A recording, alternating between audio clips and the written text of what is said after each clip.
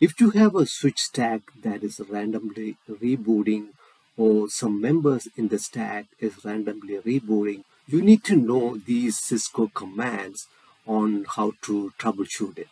Here I have the switch output I grabbed when I troubleshooting this issue. This is a 8 port switch stack and I have switches randomly rebooting in the stack. This is a 9300 stack and I issued a command show switch stack port details and I was able to notice there are CRC errors in some ports.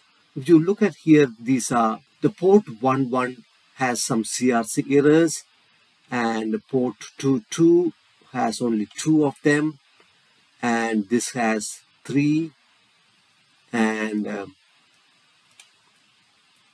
going further this has A2 has so much of CRC error. So definitely you need to look at this A2 and A1. That's has the those has the most CRC errors. So what I did is I asked our technician to go on site and just reseat the cable on those ports where I see the CRC errors and then I cleared the counters. This command will clear all counters, error counters, including every single port on the switch and the stack ports.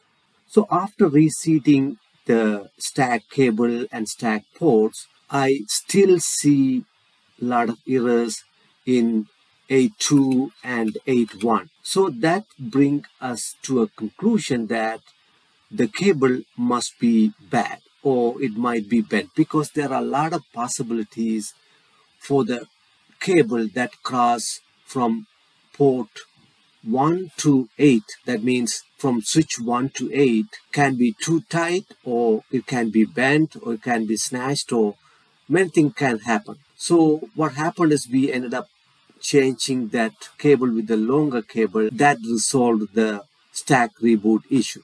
The output we had after replacing everything and observing the switch for another week. There are no errors accumulated over the week time. That means this bad stacking cable was the issue causing the random reboot. Let me show you all the output I have here.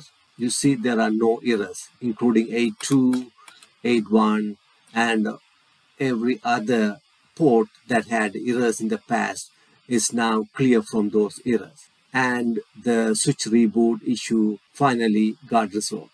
Hope you like the content of this video. If you like the content, please hit the like button. Also, don't forget to subscribe and turn on the notification for the channel.